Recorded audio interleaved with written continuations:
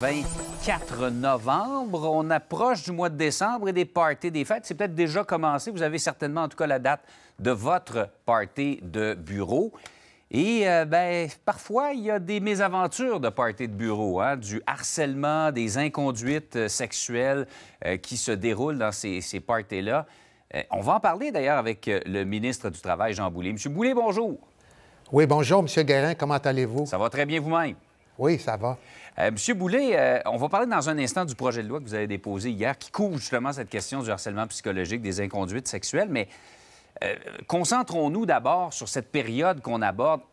Il faut savoir d'abord que c'est une responsabilité de l'employeur de prévoir les conditions, disons, essentielles pour que tout se passe bien dans ce genre de party-là, non?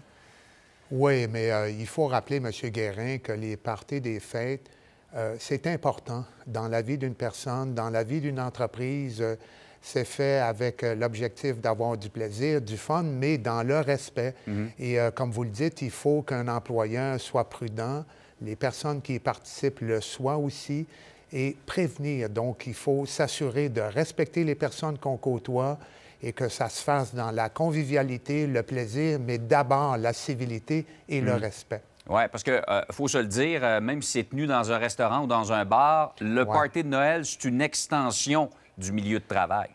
Oui, c'est une activité sociale qui est liée au travail, euh, donc il faut se comporter comme si on était dans notre environnement de travail et les notions de civilité et de respect, je le rappelle, s'appliquent. En même temps, je le répète, il faut avoir du fun, puis il faut s'assurer euh, maintenant que ce soit fait pour éviter les phénomènes de harcèlement qui sont provoqués parfois par une surconsommation d'alcool ou un excès de, de comportements qui peuvent parfois être inadéquats.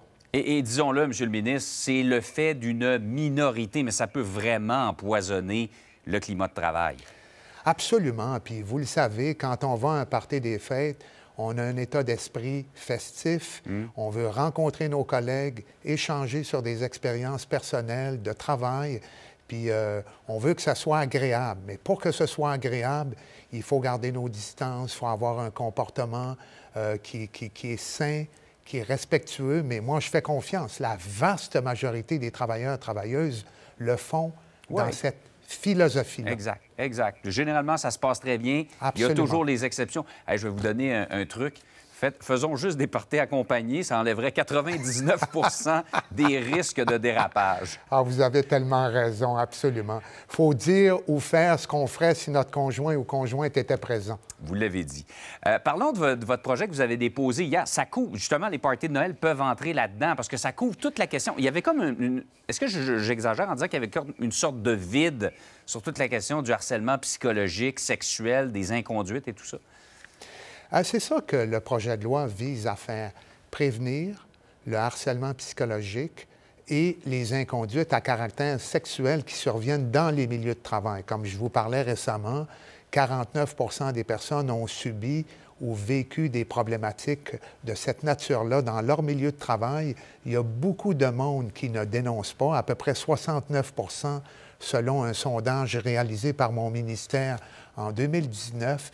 Et les femmes sont plus affectées, hmm. les personnes avec une incapacité ou euh, issues d'une minorité comme la, le LGBTQ. Donc, il faut faire attention, il faut mettre en place des politiques de prévention, s'assurer que tous les intervenants aient la formation en matière de violence à caractère sexuel et euh, assurer un accompagnement humain à toutes les victimes du début à la fin du processus. Il faut rendre ça simple, il faut rendre ça humain, mais il faut essayer d'éliminer le plus possible les euh, violences à caractère sexuel, particulièrement dans les milieux de travail. C'est en augmentation et il faut que ça arrête. Oui, il ne faut pas que ceux et celles qui ont porté des gestes comme ceux-là puissent, puissent euh, se sauver avec ça. Il est question d'amnistie également là-dedans. Hein? Oui, les clauses d'amnistie, c'est important. Après l'écoulement d'un certain délai qui est convenu par les partis et dans une convention collective, on peut effacer son passé en matière de mm. violence à caractère sexuel, par exemple.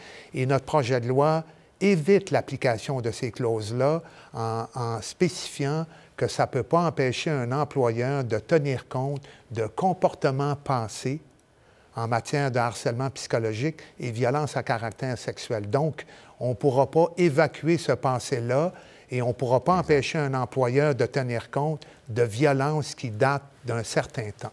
Alors qu'on se le dise, c'est toxique dans un milieu de travail. C'est pas juste pour la victime et son harceleur, mais pour souvent les collègues. En espérant que votre projet de loi réussisse à changer les choses et que les mentalités également euh, évoluent. Euh, M. Boulay, merci d'avoir été avec nous. Merci, M. Guérin. Au plaisir et à bientôt.